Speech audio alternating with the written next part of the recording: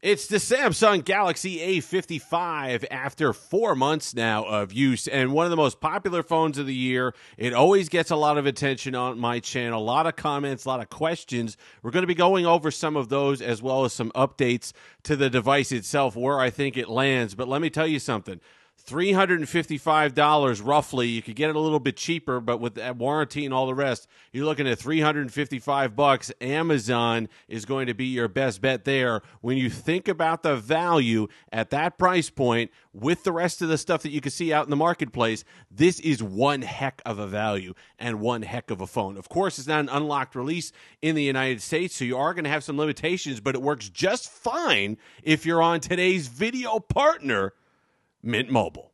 If you're a fan of the channel, you know how much I love Mint Mobile. They're a big part of running this channel, being able to test all these devices out affordably. And right now, you can get their best plan, their unlimited plan, 50 $15 a month for great 5G speeds and coverage. It's tough to beat. You could start saving money today. You could speak to a live human being on the phone, get yourself a SIM card, a physical SIM card if you need one, or in as little as 15 minutes, you could be set up with an eSIM and get yourself good to go. There are no excuses to not be saving money right now. So you could go ahead, click the link in the description. Does help the channel absolutely love Mint Mobile, today's video partner. And again, $15 a month. Been using the service for years. I absolutely love it and highly recommend it. So thanks again to today's video partner, Mint Mobile. And we're back. Thanks again to today's video partner, Mint Mobile. Hey, listen, $15 a month. You get that unlimited plan. You can hook it right into your A55 and you're good to go. So let's talk about this device.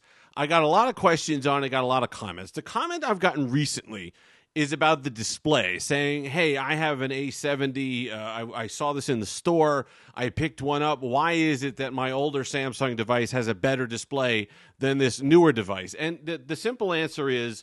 Samsung has kind of changed the color sign or color temperature of their displays. It's not a better display on the older device. It's just a less saturated display on the newer device. So that's something that you're going to have to wrap your head around. Plenty of people like the new uh, kind of toned down saturation and vibrancy on the displays. They're still bright, they're still vibrant, they're still crisp, they're still great for content, you know, video and stuff like that's not affected on this device. Everything's going to look the same and look really good on here. You know, gaming still looks fine. It's still a really sharp panel. I think it's one of the sharpest panels I've seen on one of these mid range devices. So everything there is going to be the same. It's just you're going to be lacking that saturation that, especially with the budget Samsungs from years past, you really had. There's one thing that I would like them to do in a future update. You know, it's the same thing that we got on the Galaxy S24 Ultra to kind of when people complained about the the color uh, temperature on the screen is you could go into here and advanced settings you had a vibrancy slider or a vividness slider I should say. So you were able to really crank it up if you wanted that old school Samsung feel. That's something that they could absolutely add back into this device. But otherwise for $350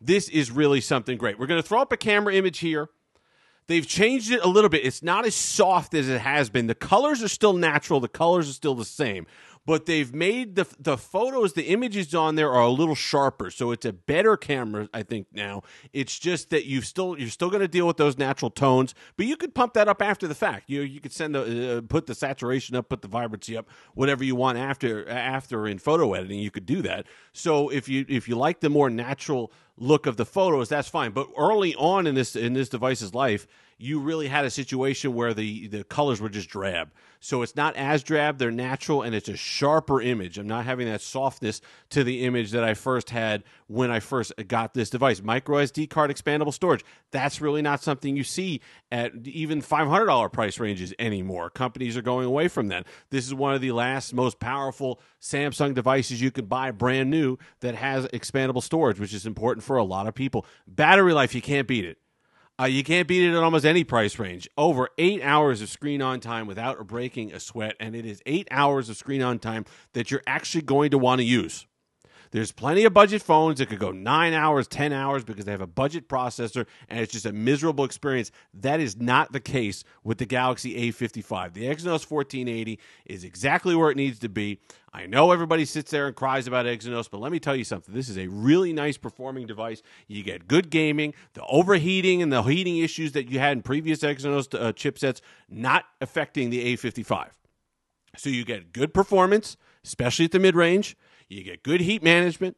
You get good power efficiency. You get good gaming and overall good performance. So it's a it's a really really attractive package when you're talking about 350 bucks. 8 gigs of RAM also really helps out. Caches a lot of the home screen. The UI feels snappy. You're getting those updates. This is running the July patch for One UI 6.1. You got Android 14 on here. You got 5 years of security updates coming your way, including 4 years of major updates of Android. So you're going to have a One UI for many years to come on this device with those optimizations and everything that comes along with that. There's the phenomenal build, which is basically feels like a flagship build. If you pick up this phone and you told me $350 when I first got it, I would have said you're nuts.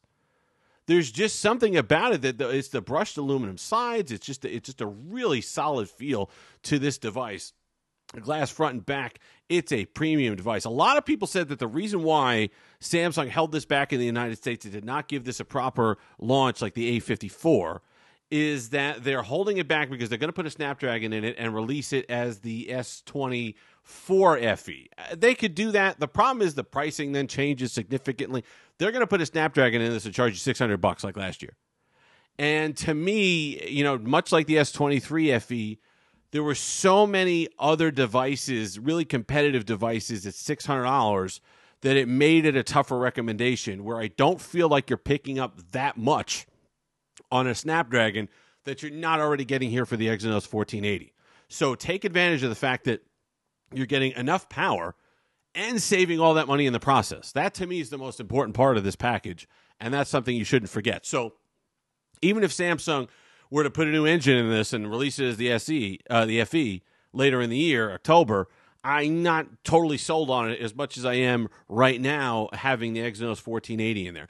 That's the other thing. You know, if if you're on Mint Mobile, right? Okay, if you have a compatible carrier that'll run the A55, there's really less uh, need to look at something like the A35. That's why I had questions about the A35 on its release. 400 bucks, like even 350 on sale. You're looking at the thir- uh, Exynos 1380. You're, yes, it's a nice phone. It's got the build. It's got a lot of other things on it. But this is a device that you know you got the POLED display here. You got the plastic, so that way you have the the, the, the symmetrical bezels around this device. I think you have that actually on the on the A35 as well. But the point is that you're getting a much better engine here. The 1380 was really good. I had no problem with it in the A54. Ran well. But if you can get, spend 350 bucks and get yourself a 1480, I think you're getting an even smoother experience for right around the same money. You pick up the extra RAM, uh, uh, you, you, you pick up that RAM, you pick up the expandable storage. There's a lot to like about this device in that price range, as long as you know what you're getting going in. But overall, you know, it, it's it's the it's the most commented on device for a reason. It's always one of my most viewed devices on the channel every single year, and that's because it's interesting. You get one UI, you get a full fledged one UI experience. It's not Galaxy AI, okay? Circle the search engine here. Uh, you do get Samsung Knox, which is something that previously wasn't on the A series devices. So understand there are some limitations there. But then again, you're not paying thousand dollars. You're not paying six hundred dollars. You're paying three hundred fifty dollars for a phone that if you don't really need AI, you can always download Gemini or whatever the Google AI, and you can have Chat GTP on here. So you're not going to be completely devoid of AI. But if you are somebody who wants a that one UI experience wants a representative, really good One UI experience, wants a, wants a solid flagship feel in the hand and a smooth, gorgeous OLED display with uh, you know, crisp 1080p. Content's going to look great. Cameras are coming along. Battery life is out of this world. There's plenty of things to like here on this particular device. So thanks again to today's video partner, Mint Mobile.